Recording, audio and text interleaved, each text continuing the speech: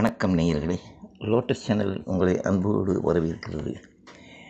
இந்த புதிய ஆண்டிலே உலகத்திலேயே பல இடங்களில் நடைபெறக்கூடிய ஒரு இயற்கை நிகழ்வுகளையும் என்னென்னவெல்லாம் சம்பவிக்கும் என்பது பற்றிய ஒரு தொகுப்பினை இப்பொழுது நாம் பார்க்கலாம். உலக சமாதானத்தை மேலும் வலுப்படுத்தும் நோக்கத்தோடு ரோம் நகரத்திலிருந்து ஒரு புதிய இயக்கம் அதன் மத தலைவர் புறப்பட்டு உலகம் முழுவதும் பயணம் மேற்கொண்டு சமாதானத்தை நிலைநிறுத்த வேண்டிய நடவடிக்கையை மேற்கொள்வார். இங்கிலாந்து பசுமை புரட்சியை எதிர்நோக்கும். ரஷ்யா முன்னேற்ற பாதையை நெருங்கி கொண்டிருக்கின்றது. அது படிப்படியாக உலக அரங்கில் முதல் இடத்தை தக்க வைத்து கொள்ளும். அமெரிக்காவில் தானிய வீழ்ச்சி கோதுமைகள் இவைகளெல்லாம் மிகவும் உற்பத்தியில் பாதிப்பு உண்டாக்கும். விண்கலம் ஒன்று வீழ்ந்து பெரும் வீழ்ச்சியை சந்திக்க வேண்டியிருக்கும்.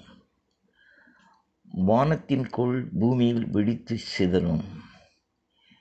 இந்தோனேஷியா ஜப்பான் அமெரிக்கா பெரும் புகம்பலங்களை சந்தித்து பலத்த சேதமடையும். அரேபிய நாடுகளில் பூமிக்கடியிலும் இருந்து ரசாயன மாற்றத்தால் பெட்ரோல் மற்றும் டீசல் மற்ற இயற்கை எரிவாயு பொருட்கள் எதுவுமே கிடைக்க முடியாத அளவு தட்டுப்பாடு ஏற்படும். உலக தொடரில் இந்த தட்டுப்பாட்டின் காரணமாக தொழில் முடக்கம் ஐம்பது பர்சன்ட் ஏற்படும். அமெரிக்கா சைனா இவற்றுக்கிடையே நல்லுறவு பாதிக்கப்பட்டு யுத்தத்திற்கான ஆயத்தங்கள் மேற்கொள்ளப்படும். கடல் கொந்தளிப்பு அதிக இடங்களில் ஏற்பட்டு பல நாடுகள் கடலுக்குள் மூழ்க வேண்டிய நிலை ஏற்படும். வரலாறு காணாத கனமழை கல்மழை பல இடங்களில் பெய்து நாசத்தை விளைவிக்கும். எய்த்து பிரமிடுகள் சில பூகம்பத்தினால் பாதிக்கப்பட்டு பூமியின் கீழ் பதிவுண்டு போகும்.